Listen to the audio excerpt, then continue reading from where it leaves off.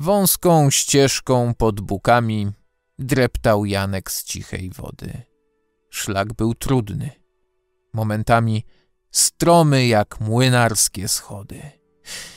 Mimo tego dzielny chłopak szybko się na górę wspinał. Wkrótce świerk zastąpił buki, świerki zaś kosodrzewina. A gdy zbocze pochłonęły górskiej trawy żółte fale, szlak złagodniał, by nareszcie dotrzeć na niewielką halę. Janek z lękiem spojrzał w górę. Wyżej była tylko skała, nachylona, jakby właśnie zwalić się na niego miała. A u stóp mierzącej ponad 150 metrów ściany widniał czarny wlot jaskini, bramą piekieł nazywany, bowiem aż do wnętrza ziemi sięgał system korytarzy. W każdym razie tak mówiono. Sprawdzić nikt się nie odważył. Janek ruszył w stronę groty, rozglądając się wokoło, a od tego rozglądania pot wystąpił mu na czoło.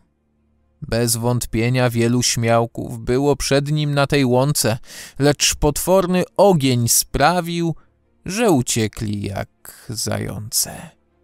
Pozostały po nich miecze, tarcze, hełmy, części zbroi, poskręcane od gorąca. Chłopak oddech uspokoił, stanął w wejściu do jaskini, chwilę zbierał w sobie śmiałość, a gdy już miał krzyknąć Halo! Z tyłu coś załopotało. Zanim jeszcze się odwrócił, wiedział już, co tam zastanie. Ten, którego Janek szukał, właśnie siadał na polanie.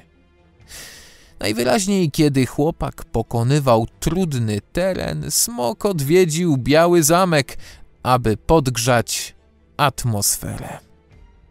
Janek po raz pierwszy w życiu mógł podziwiać to stworzenie, chociaż był to podziw mocno pomieszany z przerażeniem. Z wyciągniętą w górę szyją smok przewyższał gmach kościoła, a gdy skrzydła swe rozłożył, był szeroki jak stodoła. Twarde niczym granit łuski pokrywały jego ciało, a z ogona oraz grzbietu mnóstwo kolców wyrastało. Nagle zniżył łeb rogaty, czarny dym wypuścił nosem. Podszedł bliżej, zmrużył oczy, w końcu rzekł dudniącym głosem.